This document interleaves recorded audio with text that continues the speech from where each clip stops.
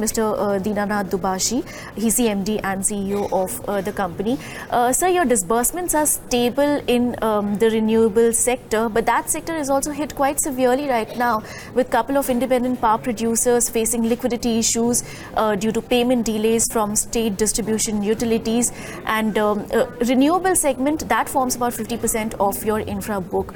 Also, my second part to this question is that uh, rating agency ICRA has downgraded one third of its portfolio in the sector. Uh, so, will your lending rates go up uh, um, in the sector from here on? Okay. Uh, very good question. So, number one, let us see the future of this sector. Okay, the future of this sector. Uh, the Prime Minister has a big uh, concentration on green energy. Um, uh, with all the environment issues happening, climate change uh, issues happening, in the long term, why long term, even over the medium term, there is no alternative for any country to uh, other than to go for big uh, big investments in green energy. So let us first understand that which let us not make too much out of you know small uh, um, seasonal issues. When you are becoming the leader and uh, a, a, very clear leader in any segments. You have to look at the long term trends in the segment and invest. So we are very very positive about the growth of uh, uh, green energy in this country. That is number one. But having said that can you lend blindly? You cannot. And the strengths of the L&T group and the expertise that L&T finance has developed to lend in choice of developer in choice of the person choice of models uh, choice of the way uh, projects are bid for, uh, the, what rate it is bid for, and the ability to calculate uh, the returns on that perfectly and most importantly making sure that you monitor the projects make sure that projects are completed on time and making sure that uh, after that also uh, the maintenance and everything goes well uh, the plant load factor is maintained at higher than what uh, we have assumed in our appraisal. So i'm being a little technical but just to say that we should not paint everything with the same brush there is this sector is growing and somebody with completely established um, you know uh, leadership uh, and knowledge in this sector will benefit. Now talking about some temporary issues it is not so much liquidity issues. It one particular state government having cancelled uh, or not cancelled but put uh, you know past uh, uh, PPAs on hold uh, we are not we are not visiting that for the first time. Even in the past, many state governments have tried this.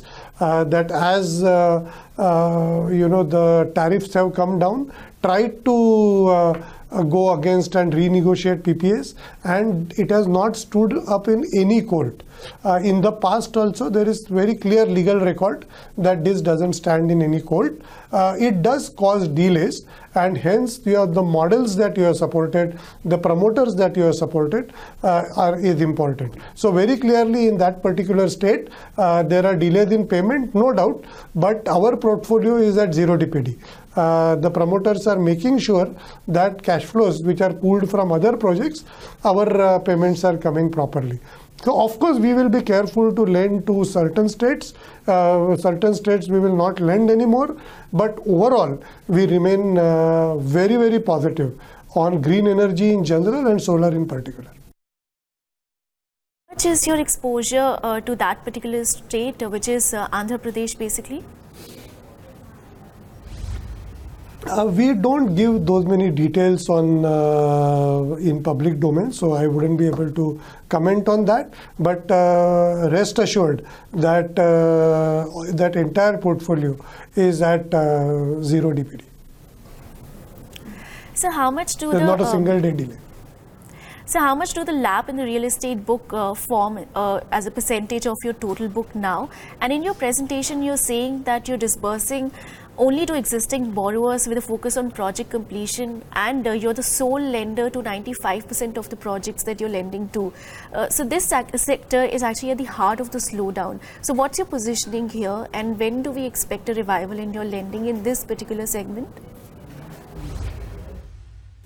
Sure. So uh, look, uh, real estate sector, any case, is uh, it's a high risk sector to lend to, and hence you need to be an expert to lend there. Uh, if you are an expert, you can make good profits even by lending to the top quality developers. Number two, the stress that you see there are because of two, three important factors. One is definitely luxury uh, flat demand is not selling, uh, is uh, just not there. Uh, also, there was an investment demand and you know uh, let us say the cash economy going away and which is good for the country but which has been uh, temporarily quite bad for this sector.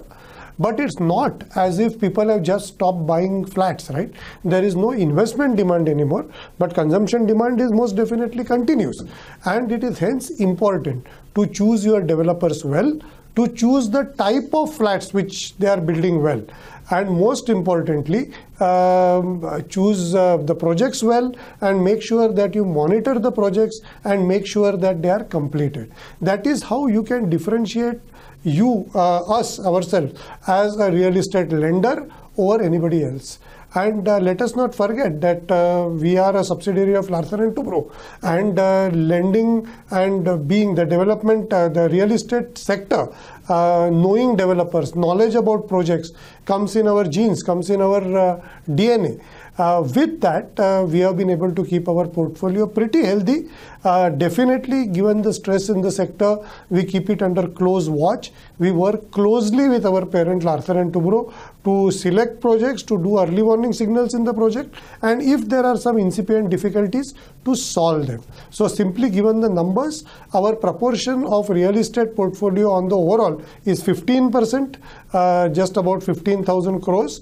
We have disbursed close to 2,400 crores this whole year, the first half, and received repayments of 1800 crores. So uh, the portfolio churn is quite good even in uh, even in a time like this, which is a, a certificate to the kind of business that we do we definitely see it and again as you said 97% of our projects we being the sole lenders we can make sure that projects don't stop uh, because of lack of funds. As you know, just two or three companies are lending anymore to real estate. Uh, we are one of them. We will be very, very selective in our lending, but we will ensure that each one of our projects get completed, get sold, and our repayment comes uh, properly.